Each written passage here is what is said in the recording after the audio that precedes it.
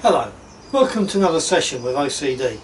Um, so today what am I up to? Um, I've just uh, washed my daughter's Nissan um, and if you've seen the previous video on um, on that citric wash you'll, you'll know that uh, it's the first time it's been washed for a year so there's no protection on it at all.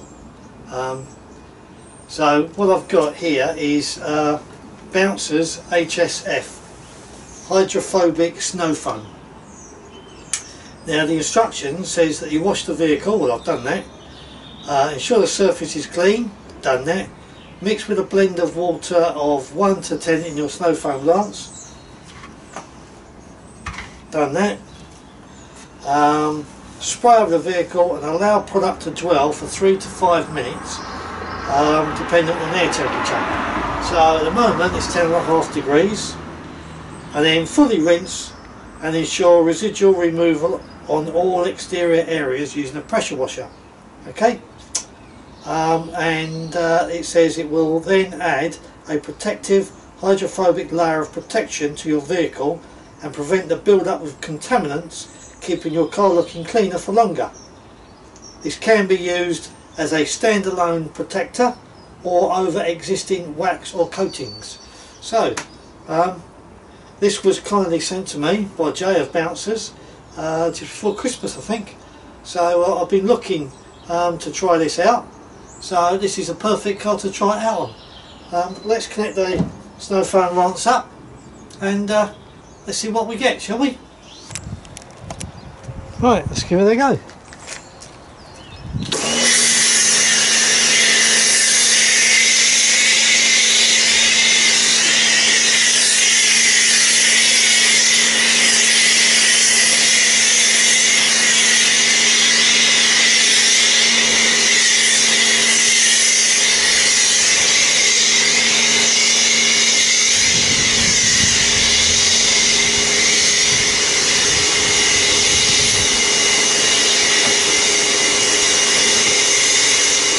Right, so that's uh, about four minutes.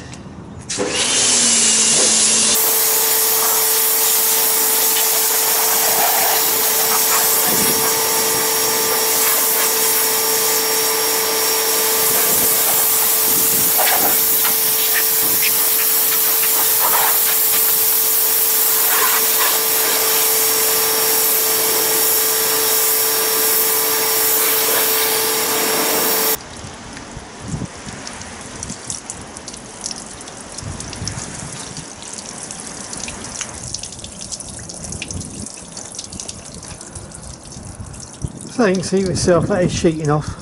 He's definitely put something on the uh, on the paintwork, um, and that was totally flat before. So,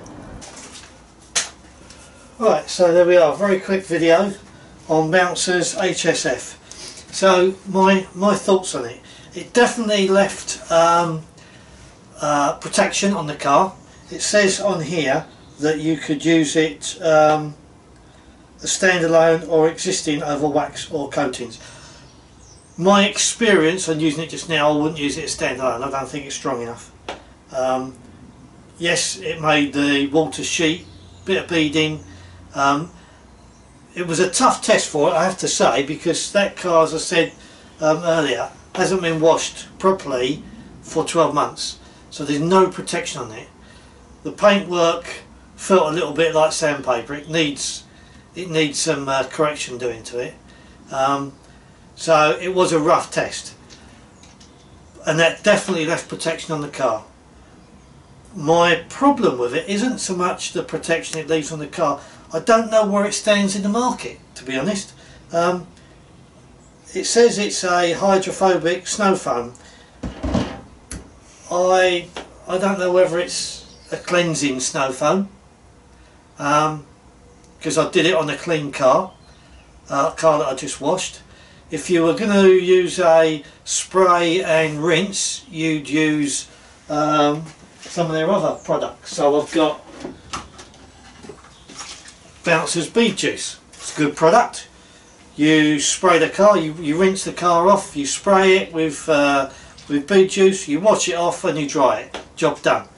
Um, I don't know where that sits in the market. If you was going to have a spray and seal, you'd probably use that. Um, so I don't know. I'm I'm I'm a little bit lost really. Um, it's quite a good product. Leaves protection on there. Like I said, if this was a waxed car, um, I think that would probably be a better product to use on it. I think it was a bit of a tough ask to go onto a totally um, flat car. So maybe I'll use it again on a waxed car and, and see what see what I think. Um, but on today's usage, would I buy it again? Probably not. Um, purely because I don't know where it sits. I'd either wax a car, coat a car, seal a car, or um, spray and seal.